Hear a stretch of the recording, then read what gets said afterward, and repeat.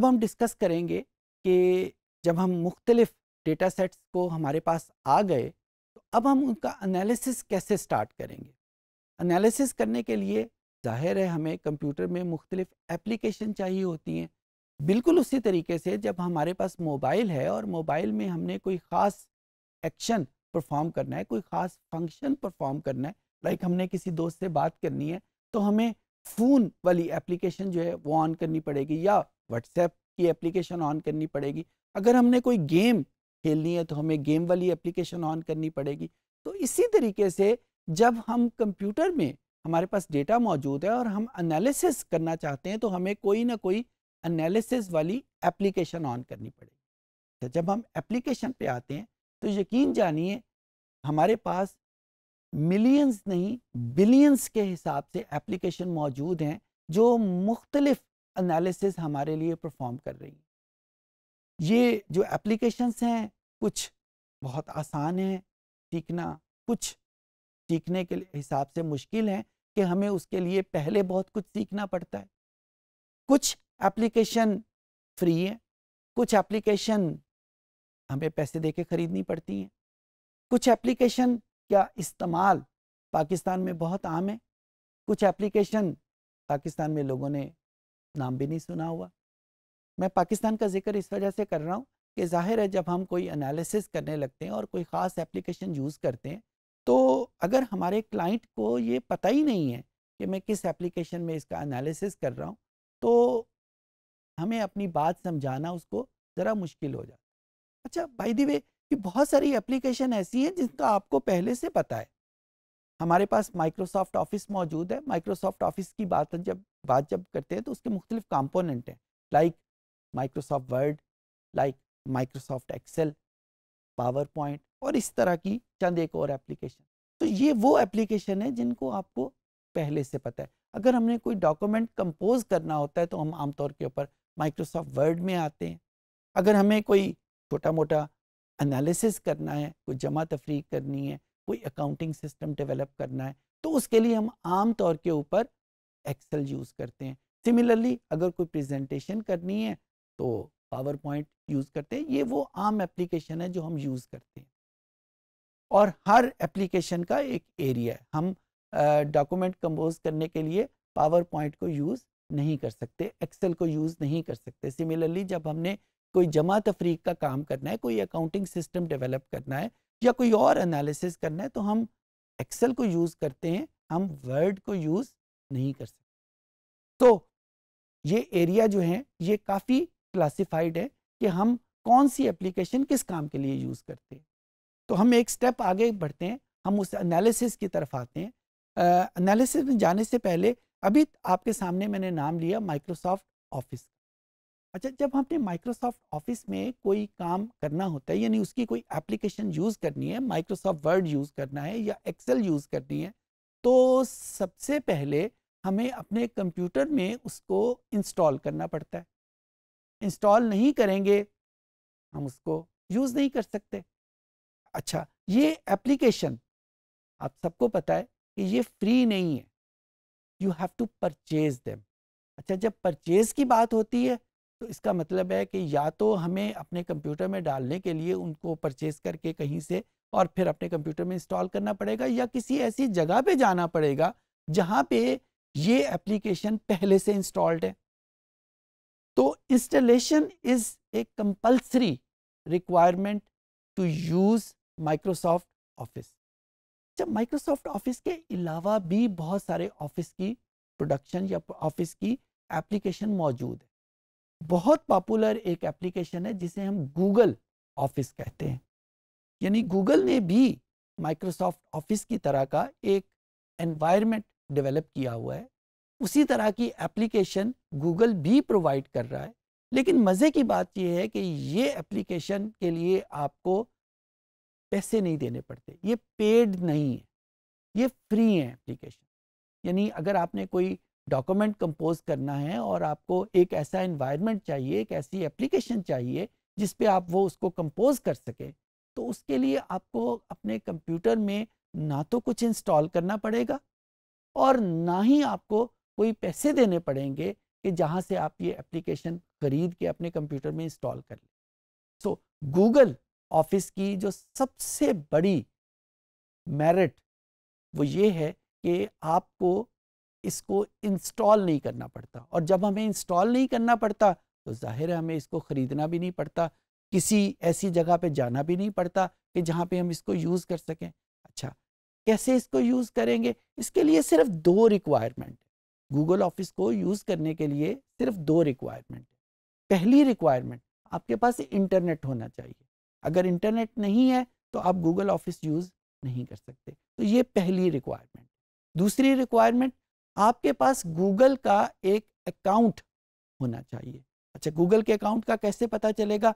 आम तौर के ऊपर जब हम अपना ईमेल एड्रेस बनाते हैं और जो कि हम हर जगह यूज़ करने के लिए बना लेते हैं, उसके लिए एक एप्लीकेशन मौजूद है जी मेल ये G mail basically Google mail का एब्रीविएशन है और वहीं से हमारे पास आती है। तो अगर आपके पास जी मेल का अकाउंट मौजूद है तो इसका दूसरा मतलब ये है कि आपके पास गूगल का अकाउंट मौजूद है। तो जो दो रिक्वायरमेंट की मैं बात कर रहा हूँ, वो यही है कि हमारे पास इंटरनेट होना चाहिए और दूसरे नंबर के ऊपर हमारे पास गूगल का account in the form of a Gmail address होना चाहिए। अगर ये दो चीज़ें हैं तो हम गूगल का ऑफ़िस या गूगल के ऑफ़िस के कंपोनेंट जो कि मिलते जुलते हैं, वर्ड से, एक्सेल से और पावर पॉइंट से और इसके अलावा भी कुछ कंपोनेंट मौजूद हैं, उनको हम यूज़ कर सकते हैं फ्री ऑफ़ कॉस्ट।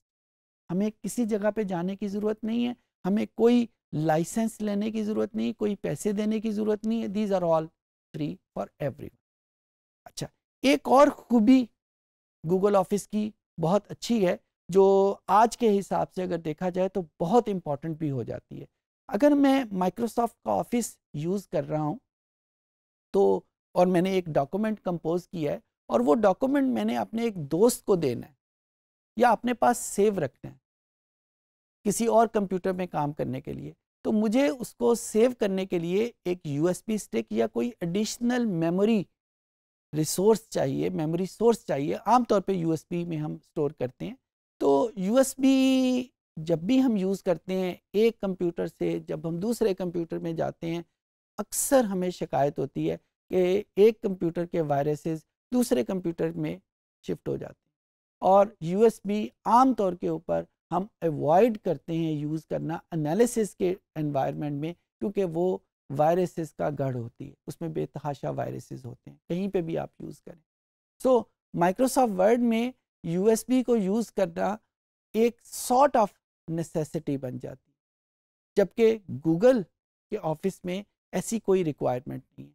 आपने एक डॉक्यूमेंट अगर कंपोज किया और अगर आप अपने दोस्त के साथ, अपने किसी और कुलीग के साथ वो शेयर करना चाहते हैं तो उसमें लिए आपको यूएसबी स्टिक की बिल्कुल ज़रूरत नहीं है। आप बिल्कुल उसको दूसरे तरीके से शेयर कर सकते हैं। अभी मैं आपको बताऊँगा भी अच्छा मेरा यहाँ पे मतलब हरगिज़ नहीं है कि माइक्रोसॉफ्ट ऑफ़िस की कोई बुराई कर रहा हूँ।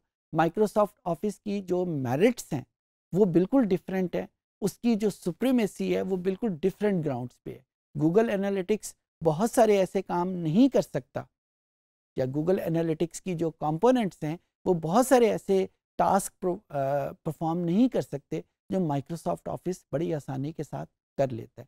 हम तफसील के साथ इनको डिस्कस करेंगे तो मैं ये ज़रूर कहूँगा कि माइक्रोसॉफ्ट ऑफ़िस और गूगल ऑफ़िस, ये दो डिफरेंट एनवायरनमेंट हैं। हर एक की अपनी खूबियाँ और अपने डीमेरिट्स हैं। जो खूबी मुझे बहुत ज़्यादा पसंद है गूगल ऑफ़िस की, वो यही है कि आपको इंस्टॉल नहीं करना पड़ता और जब आपको इंस्टॉल नहीं करना पड़ता तो उसके लिए आपको ना तो कोई उसकी लाइसेंस फ़ीस देनी पड़ती है, ना आपको किसी ऐसी जगह पे जाना पड़ता है जहाँ पे वो गूगल ऑफ़िस इंस्टॉल है और ना ही आपको अपने कंप्यूटर की स्पेसिफिकेशन का ख्याल रखना पड़ता है। बड़ा सिंपल कंप्यूटर भी ऑफ़िस गूगल ऑफ़िस इंस्टॉल कर लेता है।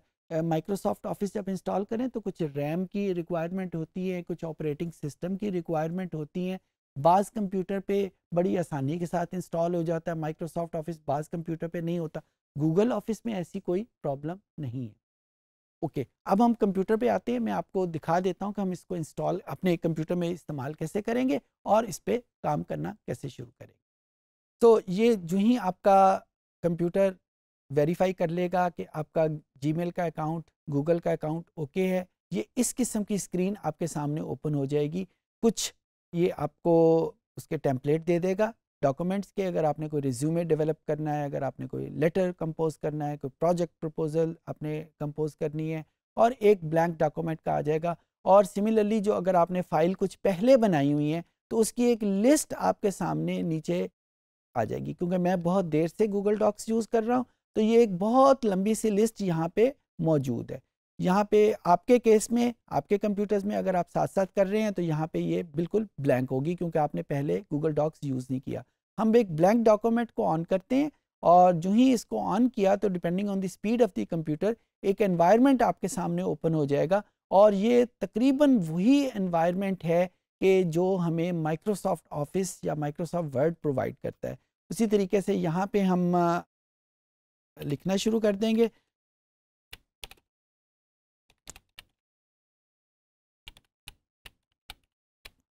और ये ऑटोमेटिकली इसको सेव कर रहा है। जो ही हम इसका यहाँ पे नाम रख लेंगे, वो ऑटोमेटिकली इसका नाम रख देगा और ऑटोमेटिकली इसको सेव करना शुरू कर देगा। अभी थोड़ी देर पहले मैंने आपसे डिस्कस किया कि ये ऑटोमेटिकली शेयरिंग भी हो जाती है। ये एक राइट अपर कॉर्नर के ऊपर शेयर का बटन क्लिक मौजूद है, इसको जो ही हम क्लिक करेंगे तो ये आपसे रिक्वायर करेगा कि इस पर्टिकुलर डॉक्यूमेंट को आप किसके साथ शेयर करना चाहते हैं? अपने किसी दोस्त की, और ज़ाहिर है वो दोस्त जिसके पास जीमेल का एड्रेस मौजूद है, उसी के साथ आप इसको शेयर कर पाएँगे, किसी दूसरे के साथ इसको शेयर नहीं कर पाएँगे। ये गूगल की हेजीमनी है, या गूगल की रिक्वायरमेंट है, जो कि आपको फॉलो करनी है। और वंस ये आप उसका नाम लिखेंगे ऑटोमेटिकली उसके कंप्यूटर में एक ईमेल चली जाएगी, जिससे उसको पता चल जाएगा कि एक डॉक्यूमेंट जो है वो उसके साथ शेयर हो गया। अच्छा ये एनवायरनमेंट हम या इस पर्टिकुलर गूगल डॉक्स को हम बहुत सारी एप्लीकेशन में भी यूज़ करेंगे, बहुत सारे एनालिसिस में भी यूज़ करेंगे अगले सेशंस में तो उन सेशन में हम इसको मज़ीद एक्सप्लोर करेंगे। इस वक्त तक के लिए मैं आपके सामने यही बताना चाह रहा था या मेरी रिक्वायरमेंट ये है आपसे कि आपको ये पता चल जाए कि गूगल ऑफ़िस या गूगल डॉक्स को आप ऑन अपने कंप्यूटर्स में कैसे करते हैं।